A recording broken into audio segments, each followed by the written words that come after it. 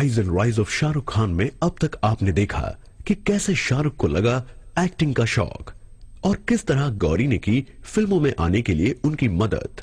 साथ ही कौन सी फ़िल्में रही शाहरुख के करियर के टर्निंग पॉइंट्स और अब आगे। अब तुम्हारे ये सपना बिल्कुल जल्द ही पूरा होने वाला है राहुल। ख्वाहिशें और ख्वाब अगर ज़िंदगी में ना हो तो ज़िंदगी बेरंग सी लगती है।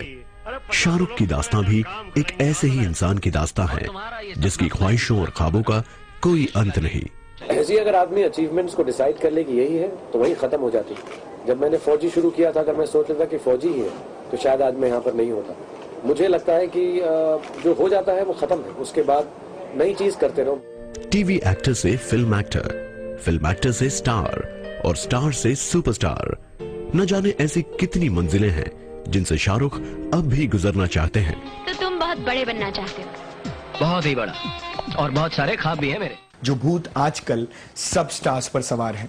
वो बहुत सालों पहले शाहरुख ने एक पहल की थी कि मुझे प्रोडक्शन करना है।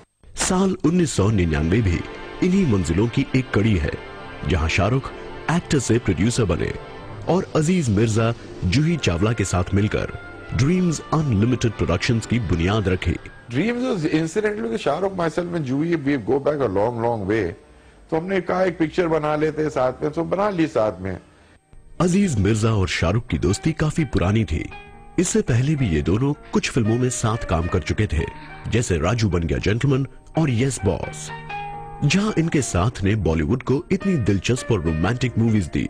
तो वहीं इन्हें ये ख्याल आया कि क्यों ना साथ मिलकर अपने प्रोडक्शन हाउस के बैनर के तले फ़िल्में बनाई जाएँ। और इस प्रोजेक्ट में इनका साथ दिया शाहरुख की कई मूवीज़ में रही उनकी को स्टार और दोस्त जूही चावला ने। देखो राहुल अब तुम अब तुम जो कहोगे मैं वैसा ही करूँगी। सच? ए। शायद इस कदम के लिए वक्त भी सही था।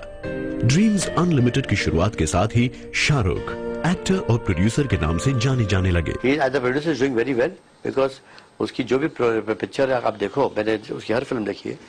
उसने अशोका बनाई हो, जो थोड़ी ऑफबीट थी, या ओम शांति ओम, जो टोटली कमर्शियल थी। उसने हर एक फ़िल्म को एक अपने बजट में बनाई है। शाहरुख ड्रीम्स अनलिमिटेड को एक ऐसा प्रोडक्शन हाउस बनाना चाहते थे, जिसमें क्रिएटिविटी के लिए कोई सरहद ना हो, जहाँ फ़िल्में ही नहीं टीवी शोज़ और एड्स के लिए भी जगह हो। और इन्हें बेहतर बनाने के लिए आला दर्जे की टेक्नोलॉजी और क्रू का इंतज़ाम भी किया गया। वैसे तो कुछ वक्त पहले अमिताभ बच्चन भी अपना प्रोडक्शन हाउस खोल चुके थे, लेकिन ड्रीम्स अनलिमिटेड सबसे ज़्यादा सुर्खियों में रहा। यश जोहर, करण जोहर, आदित्य चोपड़ा, फराह खान, संतोष सिवन, ऐसे लोग इसके बोर्ड ऑफ़ डायरेक्टर्स में शामिल थे। अज़ीज़ मिर्ज़ा जो अब तक दो रोमांटिक हिट्स डिलीवर कर चुके थे, इस बार कुछ अलग करना चाहते थे। इसलिए रोमांस के साथ साथ इस फ़िल्म के ज़रिए वो दर्शकों को एक सोशल मैसेज देना चाहते थे। पहली बार अज़ीज़ मिर्ज़ा ने एक सब्जेक्ट ओरिएंटेड और सेंसिटिव किस्म की मूवी बनाने का रिस्क उठाया जिसमें शाहरुख और जूही दोनों ही मशहूर जर्नलिस्ट के पात्र अदा कर रहे थे। वो पुलिस की हिरासत में है एक अपराधी है। इसके बावजूद आप उन्हें टिकट दे रहे हैं। दिल है हिंदुस्तानी जैसी पिक्चर की हिम्मत उस जमाने में ये जो बाज़ार बना है, जो न्यूज़ ग्राफ से एक दूसरे का चोरी करते हैं, उसके लिए बिक जाते हैं नेता के पास। वो रियलिटी बताने की किसी की हिम्मत नहीं थी, जो उन्होंने करके दिखाया। लेकिन जब ये कहानी करण जौहर और आदित्य चोपड़ा को सुनाई गई तो दोनों ने ही इसे नापसंद किया। शाहरुख की सोच अब और ज़्यादा गहरी होने लगी। शाहरुख ने तय किया कि वो इस फ़िल्म की कामयाबी के लिए बड़ी सी बड़ी रकम लगाएँगे। इसी जज्बे के साथ फ़िल्म बननी शुरू हुई पर पूरा पूरा भरोसा है I am the best We had a great time working and had a great time enjoying the work with him. That was really uh, one very nice thing about him. And I remember when we used to work in that film, if there was any tension on the set कि कोई late हो रहा है या मैं late हो रही हूँ या कुछ हो रहा है या something is not happening correctly. I mean, it would be like if, if Shahrukh is there, you know, he'll make us all laugh. He'll he'll say something funny or he'll we'll manage to get through, you know, the crisis without anything really going wrong. साल 2000 Hindi cinema में बहुत उथल पुथल का था साल की शुरुआत राकेश रोशन की फ़िल्म कहो ना प्यार है से हुई जो पहले दिन से ही ज़बरदस्त कामयाबी हासिल कर रही थी इस फ़िल्म से ऋतिक रोशन का जादू दर्शकों को सुनामी की तरह अपने साथ बहा ले गया वहीं दूसरे हफ़्ते में फिर भी दिल है हिंदुस्तानी रिलीज़ की गई। फ़िल्म में हँसी मज़ाक, रोमानियत, सामाजिक मुद्दा और शाहरुख का बेबाक अंदाज सब कुछ मौजूद था। लेकिन अच्छी शुरुआत के बाद भी फ़िल्म की पकड़ छूटने लगी थी। पहले हफ़्ते के बाद फ़िल्म दर्शकों से दूर होने लगी। इस फ़िल्म के बुरे कारोबार ने कई कहानियों को जन्म दिया। अखबारों की सुर्खियाँ शाहरुख वर्सेस रोशन से रंगने लगी। कुछ लोग तो इसे शाहरुख का डाउनफॉल भी कहने लगे। There was a barrage of brickbats on on on Shah Rukh, and uh, to make it worse, the film was a disaster. So it was a down, down, down, and everyone just attacked him. I don't think I would not like to believe this is the end अगर मुझे कोई और बोलेगा कुछ करने को मेरे पास वक्त होगा uh, मुझे इंटरेस्ट होगा उसमें सो व्हाई नॉट हर कोई ऋतिक और शाहरुख को राजेश खन्ना और अमिताभ बच्चन की मिसाल से जोड़ने लगा। सुना है बहुत लड़कियाँ मरा करती थी आप पर अब क्या हाल है Unfortunately for Shah Rukh Khan, who was taking baby steps into production, uh, guys who supported him all the while withdrew the support, which is the media.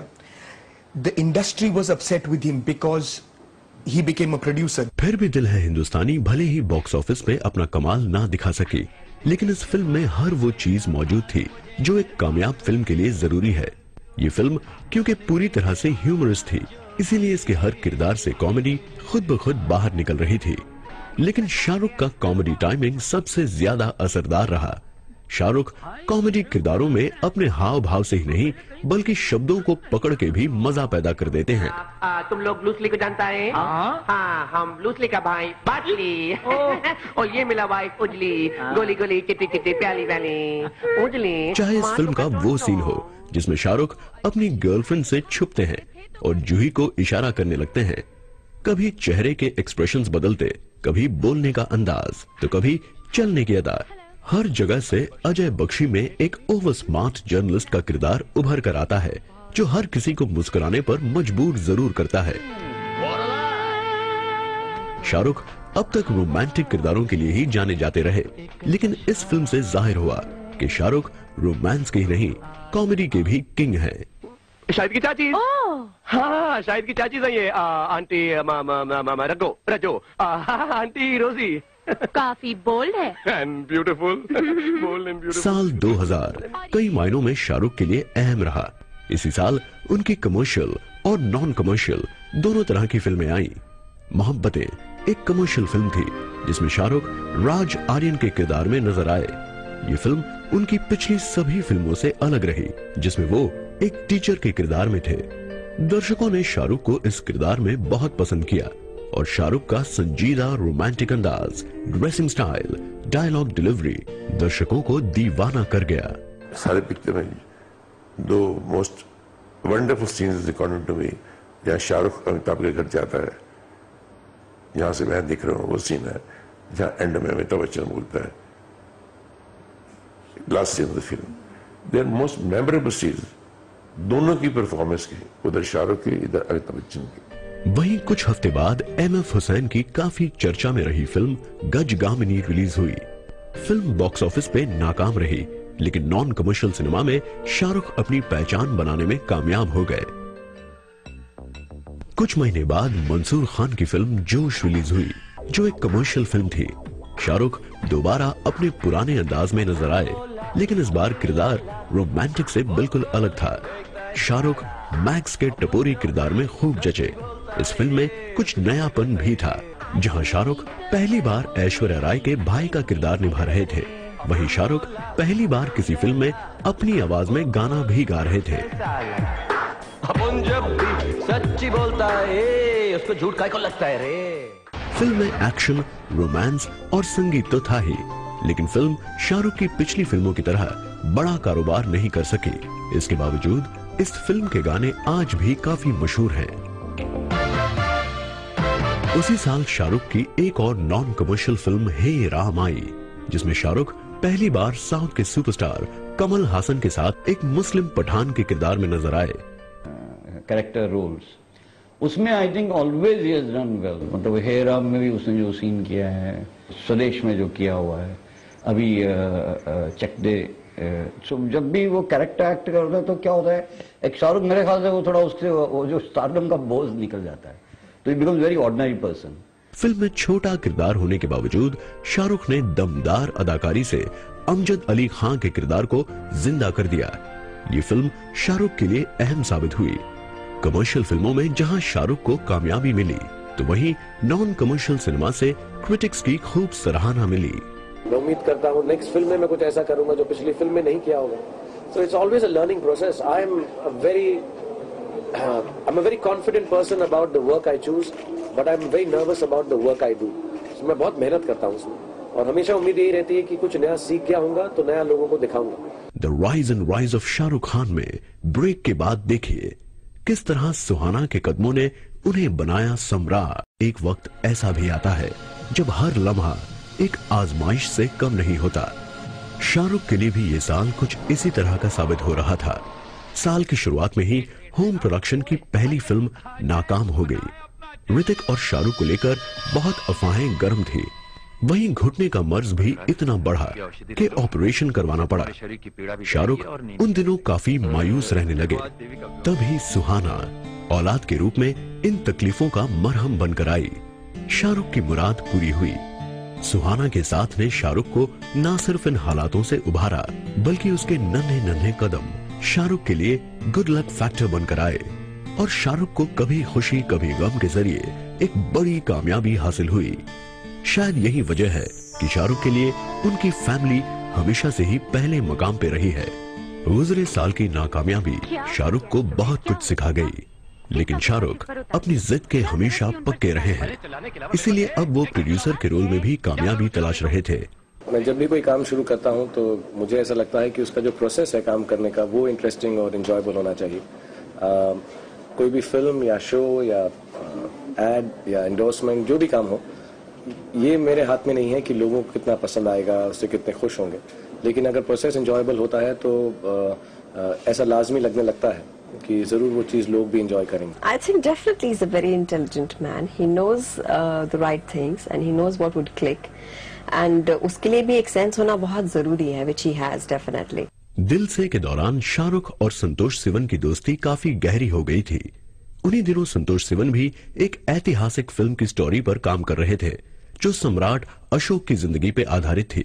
और इस किरदार के लिए उनकी पहली पसंद शाहरुख थे। शाहरुख को जब ये किरदार ऑफ़र हुआ तो पहले वो खुद को इस किरदार के लिए सही नहीं मान रहे थे। लेकिन सम्राट अशोक की कहानी वो बचपन से सुनते आ रहे थे। इसलिए शाहरुख ने न सिर्फ़ इस फ़िल्म के लिए हाँ की, बल्कि फ़िल्म के प्रोड्यूसर भी बन गए।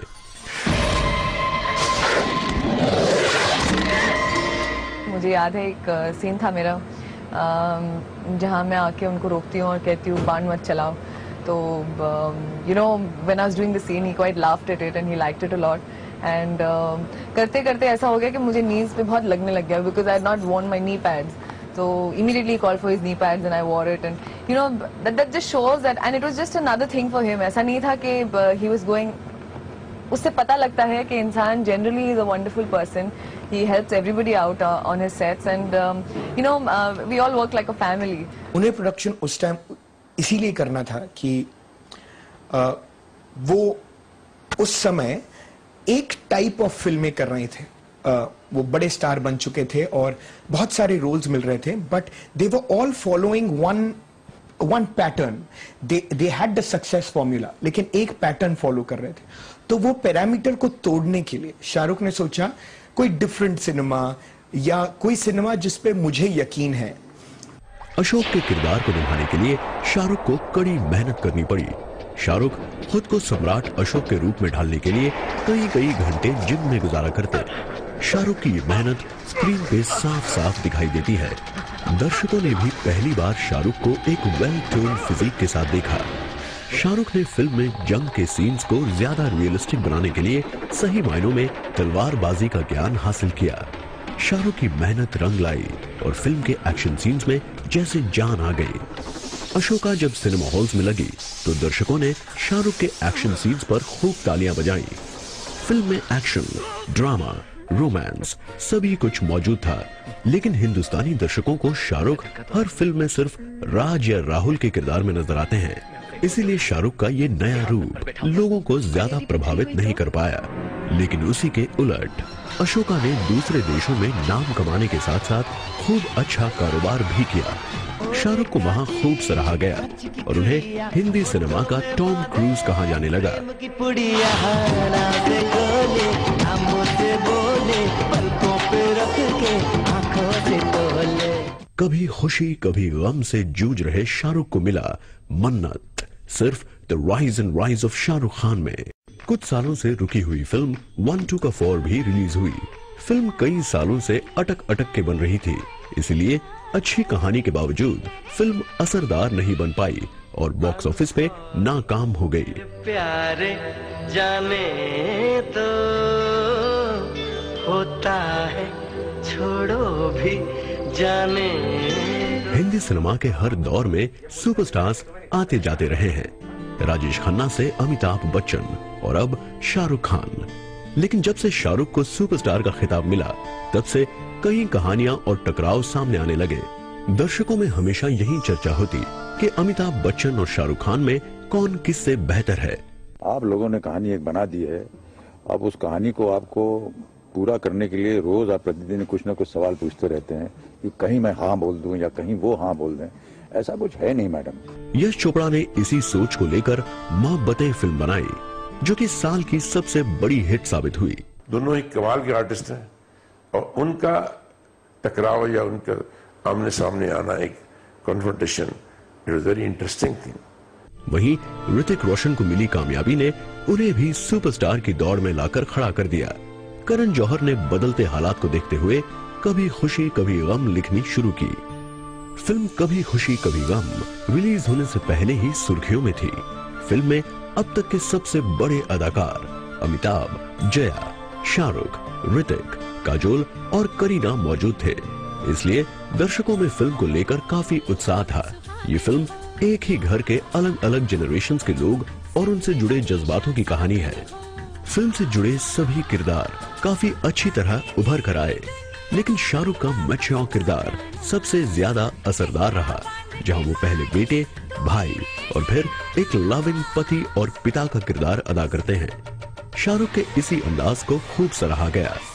अमिताभ बच्चन और ऋतिक रोशन जैसे अदाकारों के होने के बावजूद सारी तारीफें खुद शाहरुख बटोर गए और साबित कर दिया कि आज भी कोई उनका सानी नहीं है। फ़िल्म ने बॉक्स ऑफ़िस पर ज़बरदस्त कारोबार किया और साल की सबसे कामयाब फ़िल्म साबित हुई।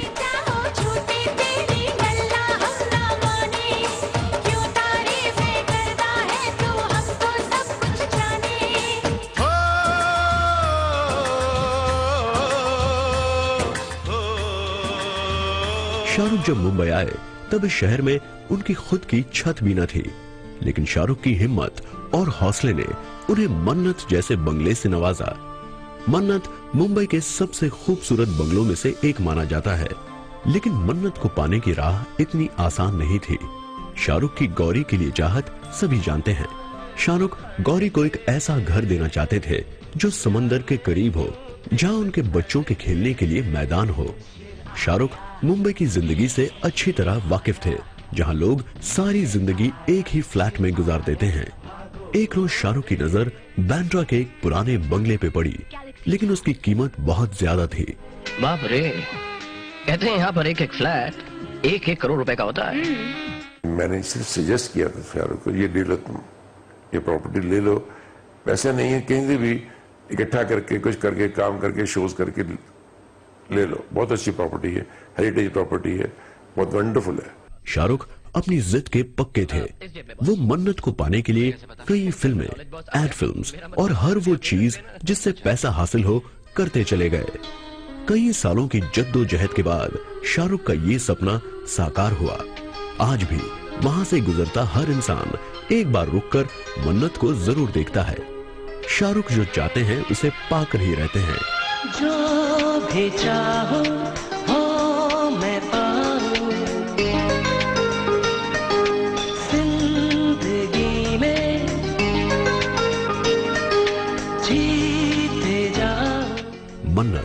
इस बात की एक और मिसाल है। पर ऐसे मिसालों की फहरिस्त बड़ी लंबी है। अपने हर कदम पर शाहरुख ने एक मिसाल कायम की है और ये सिलसिला अब भी जारी है।